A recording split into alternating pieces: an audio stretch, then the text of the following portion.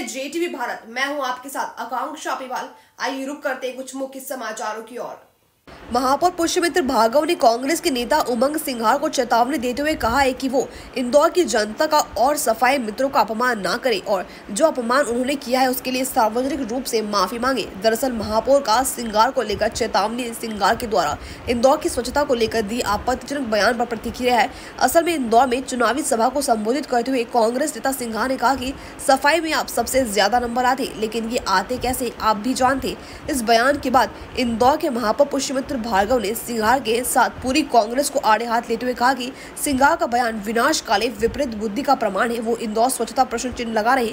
स्वच्छता कर्मियों की मेहनत पर सवाल खड़ा करें। यह इंदौर का नहीं, बल्कि इंदौर वासियों का अपमान है और इसका जवाब इंदौर की जनता ज़रूर देगी। कांग्रेस जो थोड़ी बहुत बची है, उसकी भी सफ़ाई करके। महापौर ने सख्त लहजे में सिंघार को चेतावनी दी कि वो सार्वजनिक रूप से इस बयान पर माफ़ी मांगे। मैं उमंग संघार जी को चेतावनी देता हूँ कि वो इंदौर की जनता का और सफ़ाई मित्रों का अपमान ना करें और जो अपमान उन्होंने किया है, उसके लिए सार्वजनिक रूप से माफ़ी मांगे। देश भर में कांग्रेस को लेकर जनता के बीच कोई उमंग नहीं है।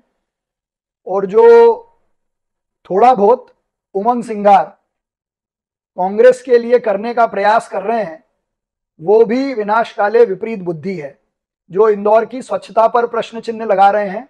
सफ़ाई मित्रों की मेहनत पर प्रश्न चिन्ह लगा रहे हैं। इंदौर की जनता का अपमान कर रहे हैं। इसका जवाब, इंदौर की जनता तेरह तारीख को ज़रूर देगी।